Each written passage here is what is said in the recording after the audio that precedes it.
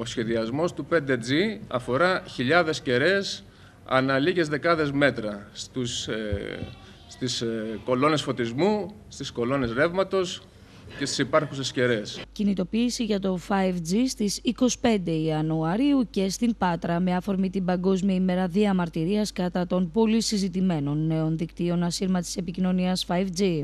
Στον πεζόδρομο της Αγίου Νικολάου ε, εκδήλωση για να εκφράσουμε και να συμμετάσχουμε στην παγκόσμια αγωνία για, την, ε, για το σχεδιασμό της εκτόξευσης ε, δεκάδων χιλιάδων δορυφόρων ε, σε χαμηλή τροχιά γύρω από τον πλανήτη Γη που θα εκπέμπουν και σε συχνότητες 5G και θα καλύψουν με ένα ηλεκτρομαγνητικό νέφος όλο τον πλανήτη.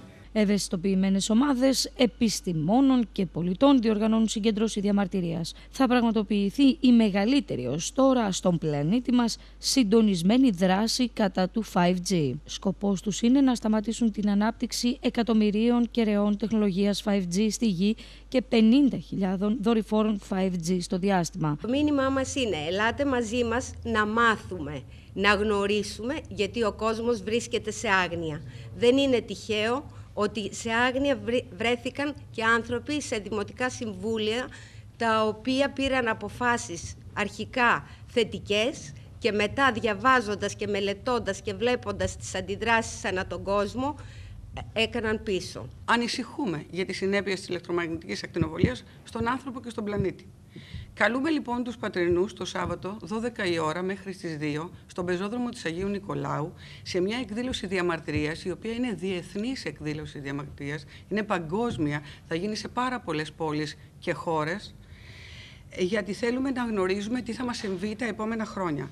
Θέλουμε να αποφασίζουμε εμείς και όχι άλλοι για μας. Όπως αναφέρουν, το 5G θα επιφέρει μια τεράστια αύξηση της μικροκυματικής ακτινοβολίας, προσθέτοντας συστήματα μικρά μεν αλλά ισχυρά μπροστά από κάθε τρίτο και πέμπτο σπίτι. Από τους 2.000 δορυφόρους γύρω από τη γη θα φτάσουμε περίπου τους 50.000, καθιστώντας έτσι τον πλανήτη αφιλόξενο για την έμβια ζωή. Διεθνής έκκληση θα παραδοθεί σε κυβερνήσεις ανά τον κόσμο, υπογεγραμμένη από 191 χιλιάδες επιστήμονες, γιατρούς, οργανισμούς, φορείς και πολίτες 202 κρατών και περιφερειών. Αν εφαρμοστεί αυτό το, το σύστημα, το, το 5G, δεν έχουμε δυνατότητα επιλογής.